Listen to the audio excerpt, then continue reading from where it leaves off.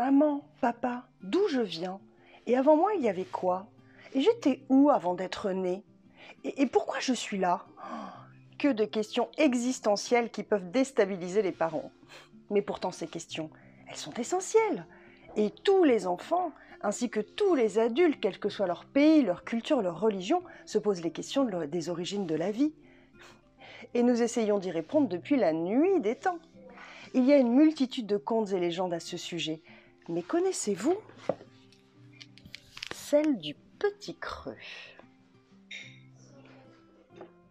Le Petit Creux de Pierre Delis et Pierre-Emmanuel Lillet chez Didier Jeunesse.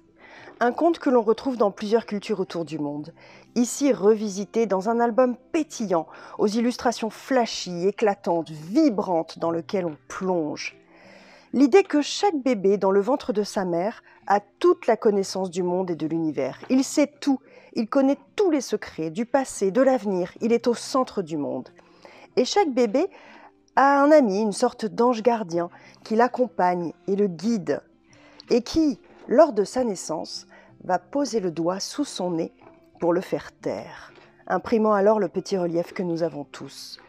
Chut Faire taire toutes les connaissances, tout oublier pour renaître vierge, innocent, et ainsi tout redécouvrir, réapprendre, et faire de sa vie ce qu'il veut, une page blanche où tout est possible.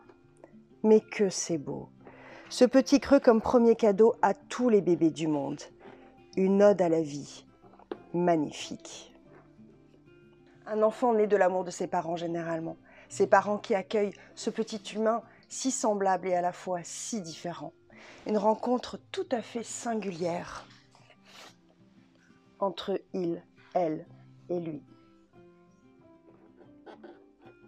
Il, elle, lui, d'Alice Brière-Haquet, Raphaël Njari et Olivier Filippono aux éditions Trois Œils.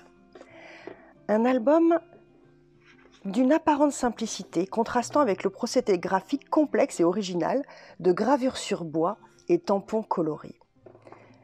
Elle aime les fraises et les feux de bois, il aime le camembert et la plage. Et eux s'aiment. Arrive alors un petit bleu qui va les chambouler, les bouleverser pour écrire à trois leur propre histoire. Tant d'émotions dans ces carrés colorés, ces aplats de couleurs superposées qui se mélangent, tant de poésie, une fausse sobriété et d'une infinie délicatesse et une grande sensibilité. Parlez-lui de son histoire, de votre histoire. Les enfants sont toujours curieux et friands de ces anecdotes de famille, de ces histoires. Répondez simplement à leurs questions, même si parfois c'est avouer que vous ne savez pas. C'est pas grave, c'est toujours une réponse. Oh, et puis des fois on brode, on invente des trucs, on imagine, comme cette histoire de la petite graine, comme celle d'un arbre, comme dans Je suis un arbre. Je suis un arbre de Sylvain Jaoui et Anne Craé aux éditions Albin Michel Jeunesse. Un album doux et subtil, un dialogue entre un enfant et une graine d'arbre sur leur origine, leurs besoins, leur développement. À chaque double page, soit la graine parle, soit l'enfant, avec chacun sa typographie, afin de découvrir leurs similitudes, dans une répétition, moi aussi, un peu comme un refrain.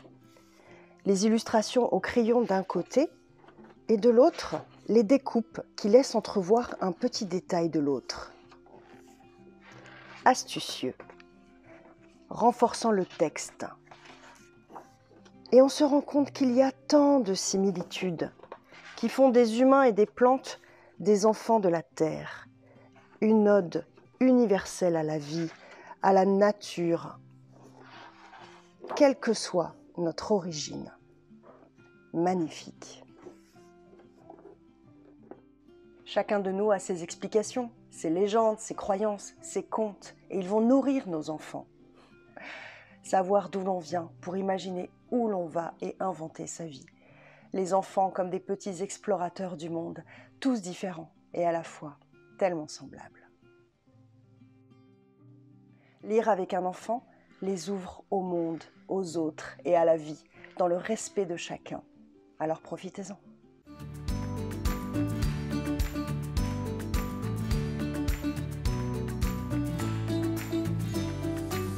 Alors, on parle de quoi la prochaine fois?